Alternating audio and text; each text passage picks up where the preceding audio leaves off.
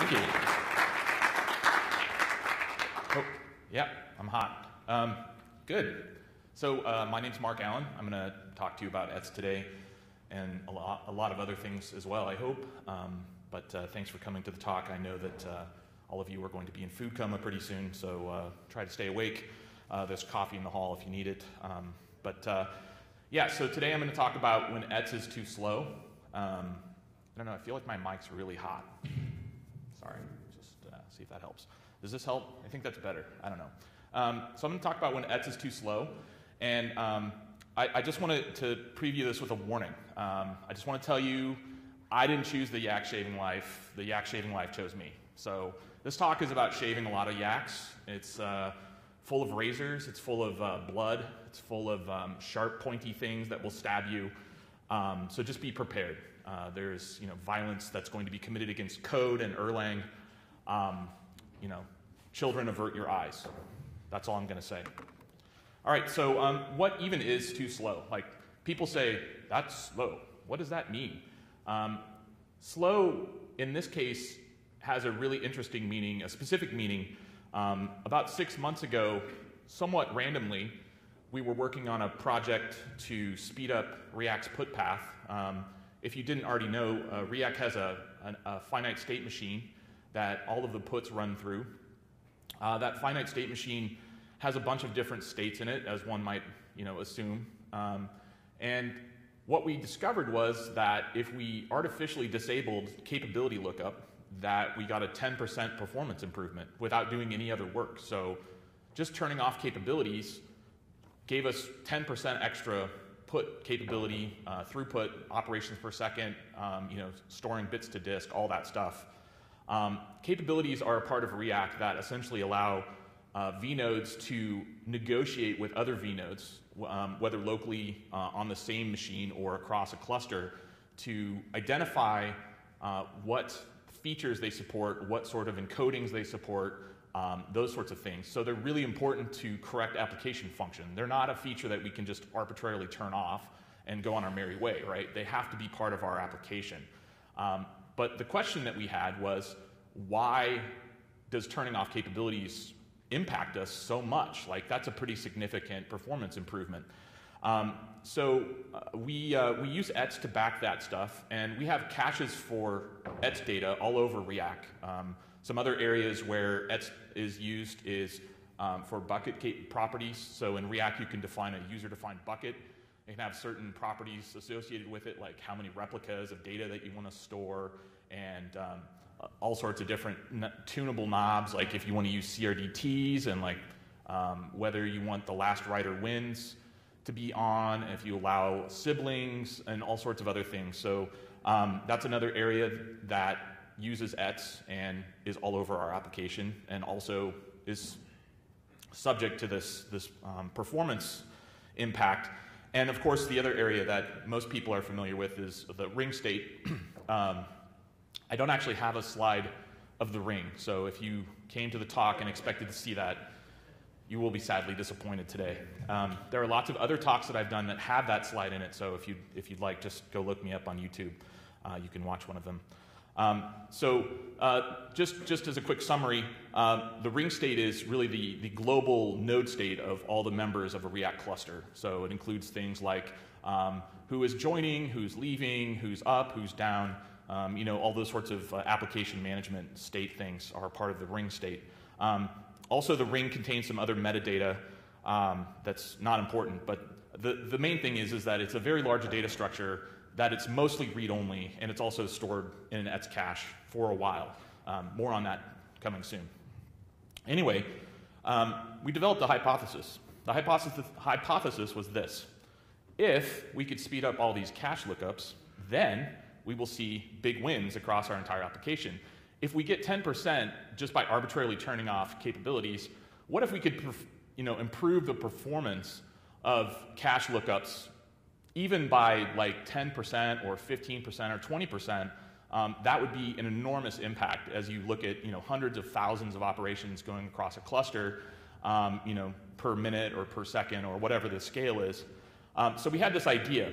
So we want to take a dirty hack um, that we use for ring state and see if we could generalize it and use that technique to speed up our cache lookups for ETS in other parts of Riak. So this talk is really about exploring that hypothesis and answering whether or not our intuition about that was true or false. Um, so I, quick, I want to do a quick review. Uh, I assume most of you are familiar with ETS. Is there anyone that is not familiar with ETS? No? All right, I'm going to skip this slide because I have plenty to talk about. Um, but the main thing is, is that it's term storage, it's arbitrary, it uses tuples. Um, that's probably enough for now. The technique that we use, the dirty hack that I wanted to talk about, um, is this thing called uh, Mochi Global. And Mochi Global is still part of Riak Core right now.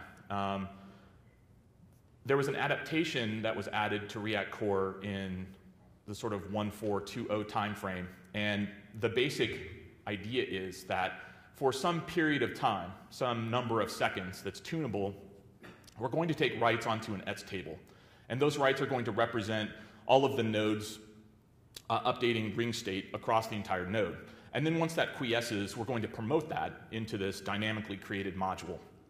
At the bottom of this slide, I have uh, some of what that module might look like. Um, in this case, you know, it's some random thing is the name of the module. There's exactly one function. It's zero arity. And what's inside of the body of that is some arbitrary data structure. In this case, it's a record called arbitrary. Um, and as you can see, it has five fields. Um, in the case of the ring, um, it's basically the same thing, except instead of having a record there, it's this ginormous, huge GB tree data structure um, that has, you know, a lot of metadata about the entire ring structure. And um, so uh, there's two things that we did to speed that up. One is, is that we build this dynamic module, which is a dirty hack. The other is that we take the entire thing and convert it into a binary and do a bunch of binary operations on it, um, which is also another dirty hack, um, but one that we're not going to copy today. Um, anyway, this is the generalized technique that we wanted to build um, into a, a, prototype to do some experiments with. Um, so as a weekend project, I wrote this library called Fling. Fling is uh, available on GitHub right now uh, if you want to play with it. It's at uh, Basho Labs Fling.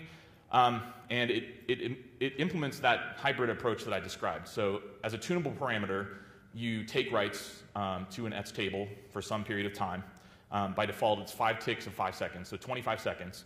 And after the timer expires, if there has been no writes in that time period, then the module will take the entire contents of the ETS table and build a dynamic module, load it into the runtime system. Um, at that point, the Fling library uh, will read all of its data from that, from that runtime module. And um, if we take new writes, those go to the ETS table, and the gen server that's in front of the ETS table will actually flush. It will flush out the, um, it'll flush out the, the, um, the contents of the dynamically created module. Um, so there's this really, really interesting function. ETS has a lot of features that I think um, are either not well known or have dragons in them. And um, one of the things that is not especially well known is that you can actually give ETS tables to another process. Um, there's a function called, called ETS giveaway that implements this. And what it does is it, it takes ownership of a process, uh, sorry, a table that's in a process and hands it off to another process. And it comes into there as a message, essentially. And after the message is received, that process owns the ETS table um, in the runtime system.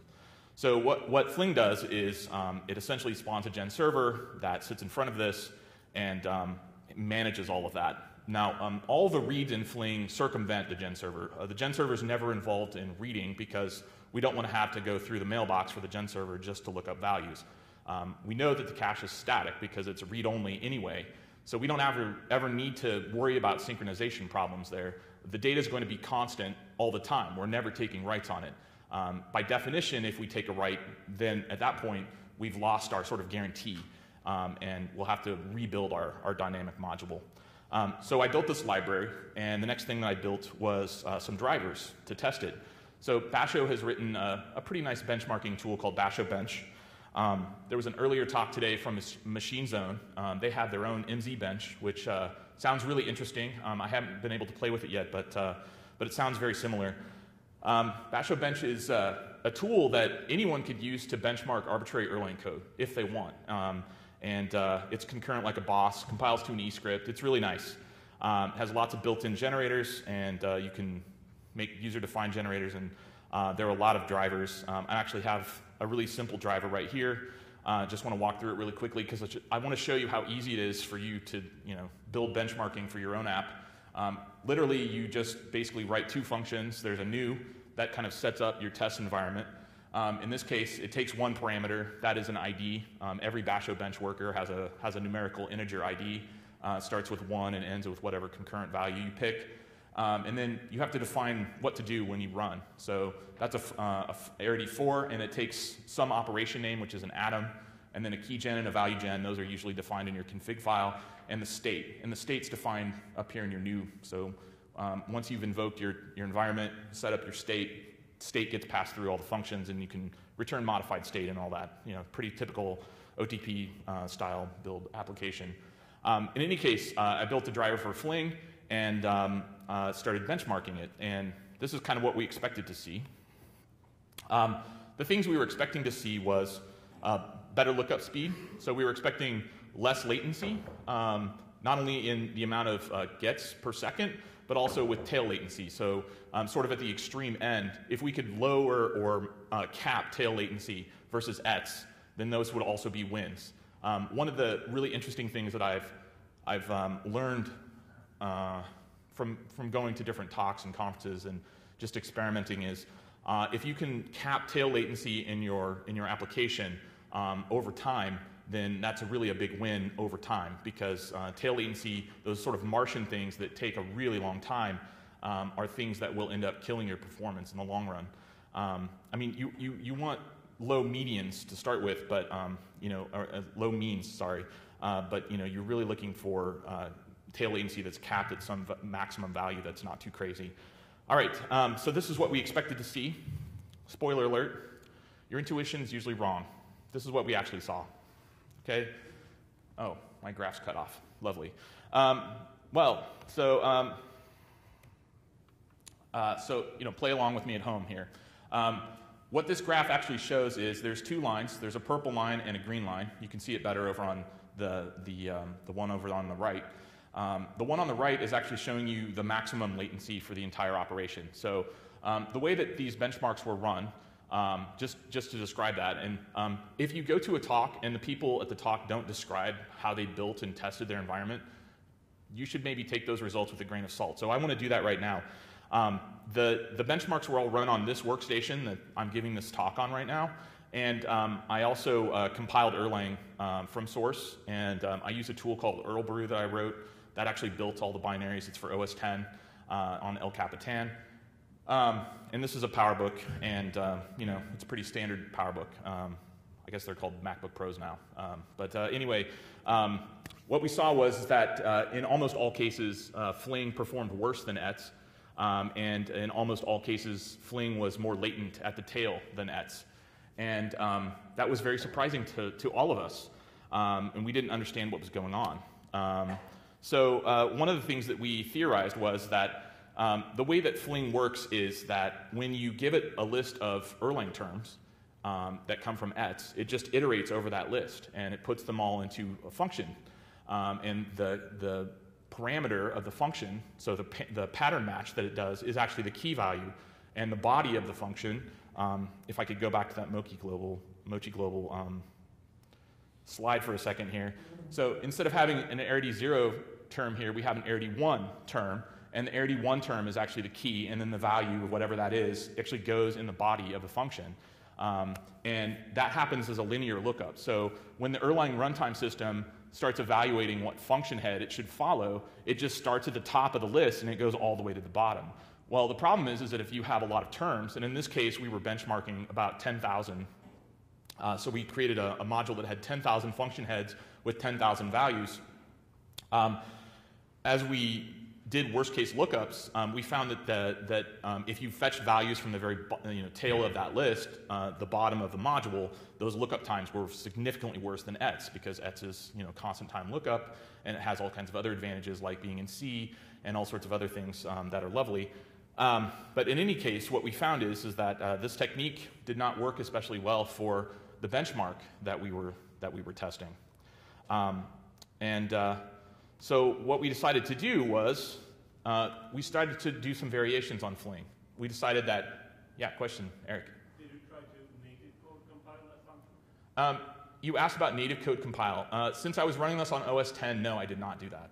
Um, I, I, it's, it's one of those things that we, we have, uh, so I'm going to get into the variations that we're doing now. Um, and, and, and we also have future work uh, that, that we need to do, and that's, that's one of them.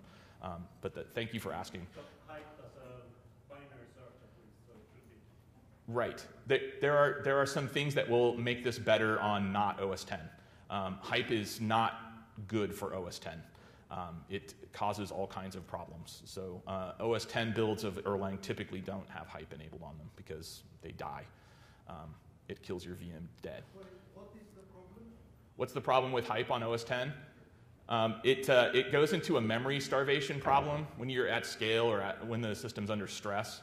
And uh, there's, a, there's a certain part of, um, of, the, of the VM that basically gets to a seg fault when it tries to get more memory. Um, that on Linux doesn't cause a seg fault, but on OS 10 it does. So. Why hasn't this been reported somewhere? I don't know. I don't know. Um, what, uh, I will report it. um, yes. Uh, so, so, so some of the variations that we decided to try were um, to store our data in a GB tree. Um, so instead of having this linear lookup, we were going to go back to the single term with zero arity. We're going to have a really big data structure. Uh, we'll have a GB tree that, you know, then we'll traverse through the GB tree. And uh, theoretically, that would be a better lookup. But it turns out that's even slower than just doing function heads. Um, so we had another idea that was, well, okay, so all the capabilities, all the bucket properties, those are all atoms. Um, so what if we just made the, the key name the function name, and then they were all zero arity, and then we could just do a direct lookup through uh, that way. Um, and uh, I have a branch of Fling that implements that, but I'm getting a weird uh, syntax tools problem. So uh, maybe I will track down Ricard and sit down with him and figure out why. Um, but it won't compile. At least it won't compile on, on my workstation. Um, so, uh, so anyway, we, uh, we, we decided that GB trees were not going to be a winner.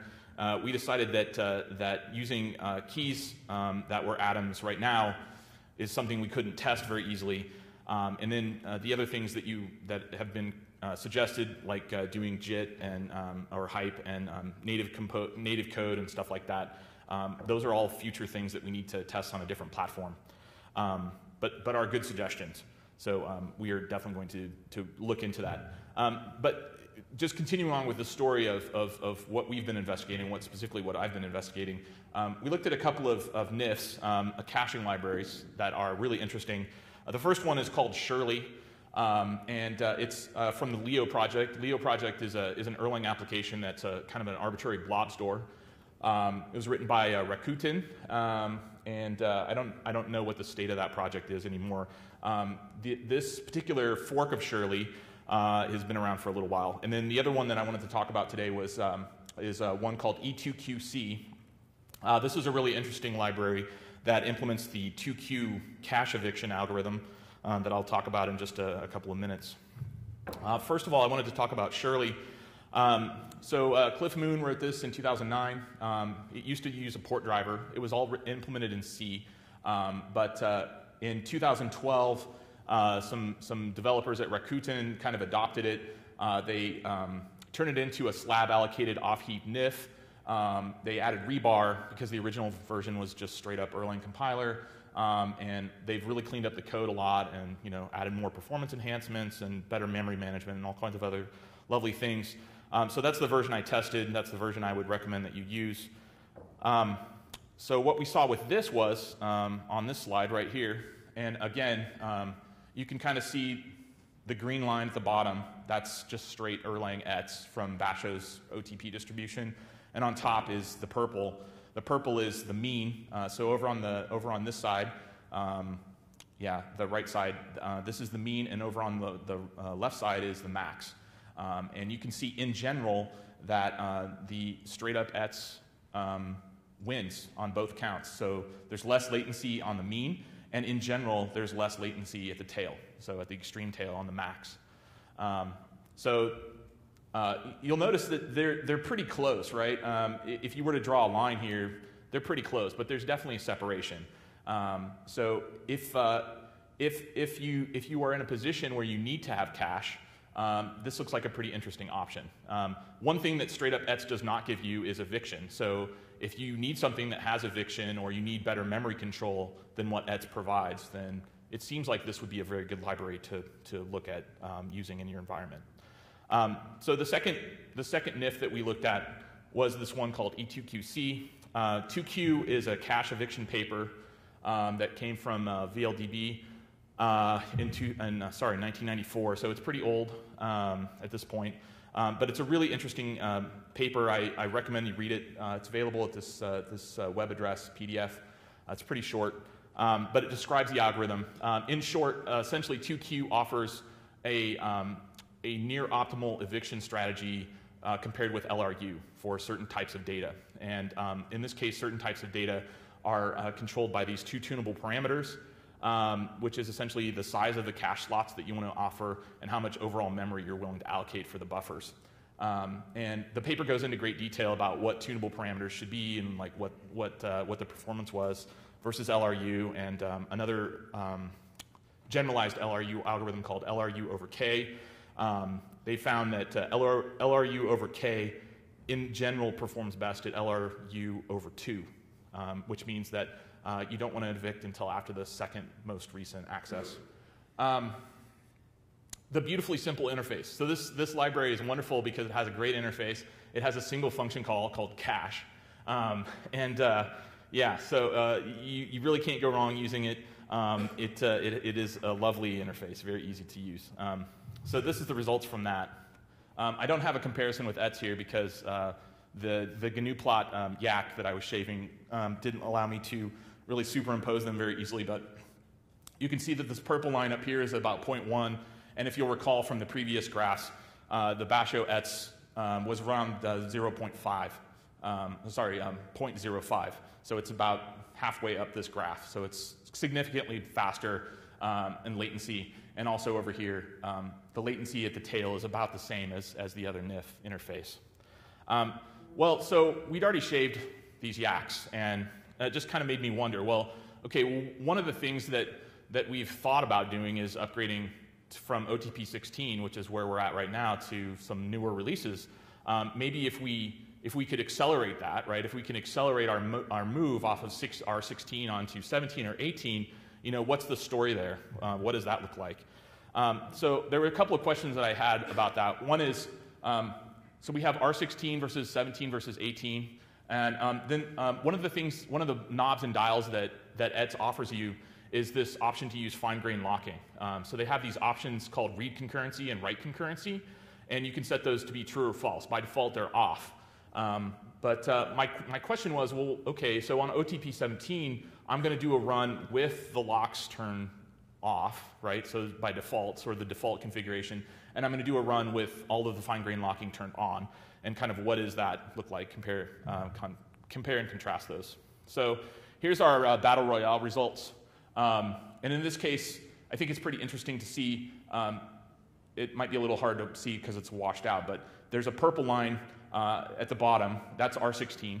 Um, and then there's kind of this big blue line at the top. Um, that's pretty easy to see. That's R18 or OTP 18. And then all the green stuff that's just sort of going up and down and crazy like that uh, that's actually um, that's actually 17 uh, that's that's doing that. Um, so it's uh, it's kind of interesting uh, to see how um, 16 seems to be the performance winner, at least in this particular benchmark. Um, and then over on the other side there, you can see uh, the latencies. They're pretty comparable. They're almost all exactly the same. In fact, you can see that the peaks and valleys for all of these different OTP releases are basically the same thing. Um, so uh, one of the things that people ask me and other Basho engineers all the time is why does Basho ship their own OTP? Um, this, this graph is why. Um, so on the top, this purple line is actually stock OTP 17 or 16, and on the bottom is Basho's release of OTP 16 um, with a ton of performance patches that um, were, uh, were developed mostly by WhatsApp, but also some in-house Basho work. Um, we have an engineer named Ted uh, Burghart who's done a ton of work um, on this particular release, Basho 10, to uh, remove as many locks as possible uh, from OTP um, and, uh, and um, replace them with atomic instructions that run on Intel 64-bit chips. Um, so using, uh, using assembly instructions instead of uh, you know, uh, code inside of the runtime to achieve the same, the same atom- atomicity guarantees.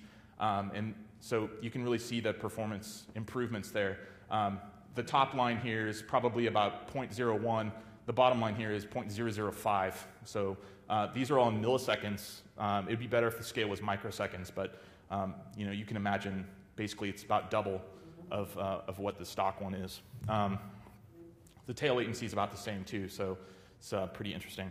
Um, and then this is the one with uh, with and without locks. Um, so on the bottom, uh, uh, sorry, over on the here on the left, the um, the green stuff is the ones with fine grain locking and the ones with purple, that's the one that's just sort of uh, by default.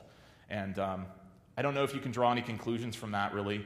Um, in general, what I see from this is that the green line is a little bit better.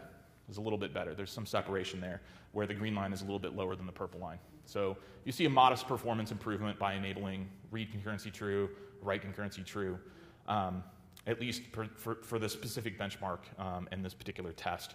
Um, all right, so uh, my conclusion was is that ETS is really hard to beat. all right, uh, why is it really hard to beat? Well, for first, uh, first of all, it's a built-in function. So all of the performance critical parts of ETS are pretty much implemented in C. And uh, things like insert, things like lookup, those are all C calls that under the hood are being handled by the runtime system somewhat transparently to you, the Erlang developer. Um, that's a big reason for the speed. Another reason is, is that in recent times, so from 16, 17, and 18, there's been a lot of work to do better locking, uh, less locking, um, more appropriate locking, fine grain locking if, um, if they're enabled, um, so that ETS is as performant as it possibly can be.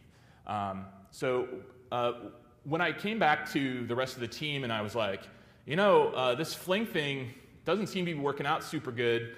Um, you know, maybe we should try to test this in situ. Like, we, we need to figure out how we want to measure performance of, of Riak, like in the application itself. So instead of doing these artificial benchmarks um, that are interesting, right, um, let's go ahead and, and, try to test this um, where Riak actually runs. And um, what I wanted to do for this was just talk about some tools that we use to do that. Um, I, didn't, I don't have any results to show you today, um, but uh, this is, again, all future work that we need to get done.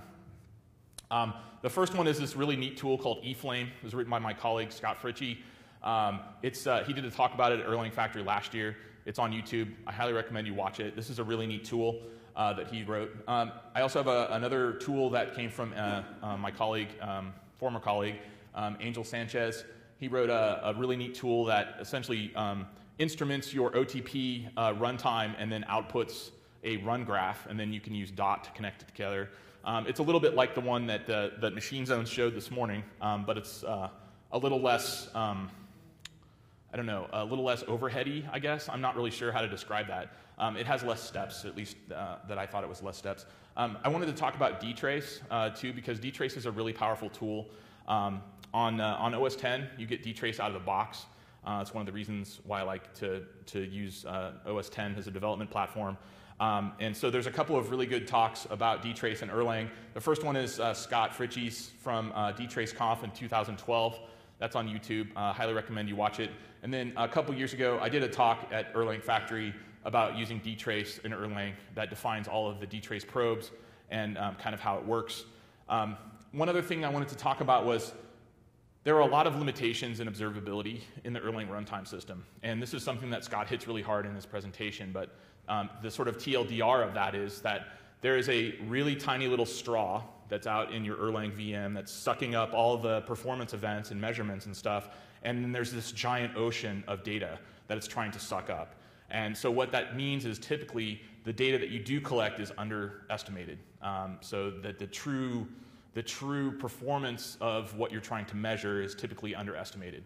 Um, and that's just something that you should be wary of. So when you collect benchmarks from Erlang and you use observability tools uh, like eFlame and like some of these other tools, uh, I would just be wary that you know you don't put too much faith in them. Um, the way that Scott puts it, and I think this is very wise, is that at best, these tools help you rule out root causes. They don't necessarily help you identify them, but they can help you rule out what those things might be. Um, all hope is not lost, right? This is getting better uh, every year. It seems like tracing and debugging and all those tools that we, that we have as programmers are getting better. Um, but right now, uh, as you look at observability um, overall in your runtime, um, there's some asterisks and caveats you should be wary of, of the results that you get out of the system. Um, so getting the most out of ETS. My advice is to always use read concurrency and write concurrency true, unless you shouldn't. Um, how do you know that? There's really only one way to do that. That's the bottom. You have to benchmark. You have to benchmark. There's no other way around it. Um, you can't go to Hacker News. You can't go to Reddit. You can't go to your buddy. You can't go to YouTube Talks um, and figure out what your problem is. Um, the only way you're going to be able to do that is by testing it and by benchmarking it by using tools like Basho Bench and just kind of beating on it and using observability tools like eFlame, you know, with an asterisk. And um, uh, the other thing is, is that more recent OTP releases in general are faster um, than, than, uh, than, than older ones. Um, the, the result from, from R16 being faster than R18 really did surprise me. Um, it was honestly a surprise. And I don't know if that's just noise from my personal workstation, right, small sample size or whatever. Um, but in general, uh, what I've found is, is that newer releases of OTP are faster than older releases. And I've seen that time and time again from benchmarking things that aren't sort of artificial, like you know, testing ETS or whatever. Um, when we, uh, when, when uh, John Daily and I refreshed lager uh, earlier um, in 2015, we did a lot of benchmarking comparing how our changes impacted the runtime cost of logging um, in the new branch versus the old branch. And what we found is, is that uh, running with OTP 17 uh, versus 16 or OTP 18 versus 16 was is that you would get probably between 5 to 10% um, improvement in lager uh, just by switching the runtime system. So it's a pretty significant boost. Um, are there any questions so far? Does anyone have any questions that I haven't addressed yet? Just out of curiosity, uh, when you, since you compiled uh, Erlang yourself, have you tried doing anything with uh, profile guided optimizations on it? The question was, uh, since I compiled from source, have I done uh, profile guided optimizations? Um, I have not done that, but, uh, but I'd love to talk about it because um, I don't really know what I don't know what that is, but it sounds really interesting. yeah, um, so yeah, I, would love to learn about that. Um, are there any other questions that, that uh, yeah?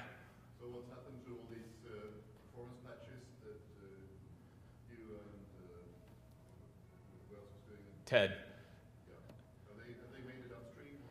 Um, I, I'm not sure. If, I'm not sure for, if they're going to be sent as PRs upstream, and the reason is uh, because it it compromises um, the promise of the Erlang runtime to be available on systems that are not Linux.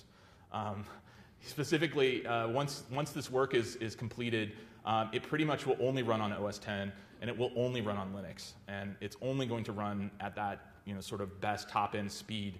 Um, and uh, there's, there's absolutely zero appetite um, within the organization to make, make those optimizations work on Windows as well.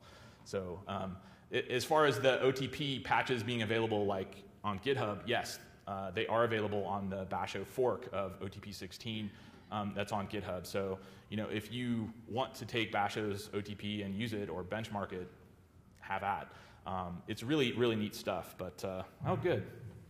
Um, yeah, um, it's uh, it's it's really good stuff. My uh, my auto updater prompt just popped up, so uh, yeah, that's, that's why I said oh, good. Um, all right. So uh, I wanted to talk about some of the resources and links. Uh, first of all, um, all of the raw data that I have for this talk is available at the very top link um, on GitHub. My GitHub ID is mrallen1, and the name of the repo is EF2016. Um, so if you're interested in the raw data, you can look at it there. Um, also, a copy of these slides are available there. The next one is Fling. We talked about Fling. If you're interested in that, um, evaluating that for your own use, um, feel free to ch check it out. It's Apache 2 licensed. Um, Basho Bench, fantastic tool, very easy to use. Uh, strongly recommend. You know, if you're looking for a benchmarking uh, framework or something, uh, seriously give some give Basho Bench some consideration. It's it's very easy to use.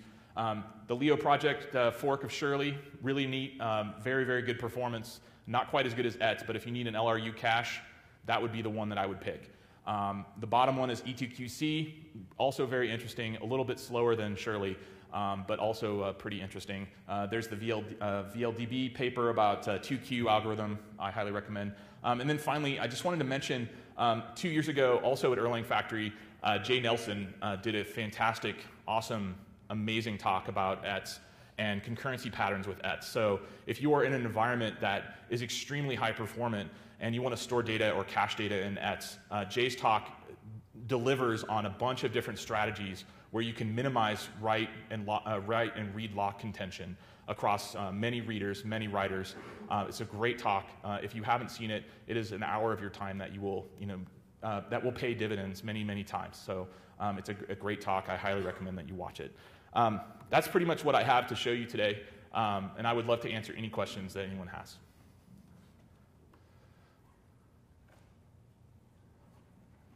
Okay. All right. Well, thank you very much for your time. I really appreciate it. Thanks.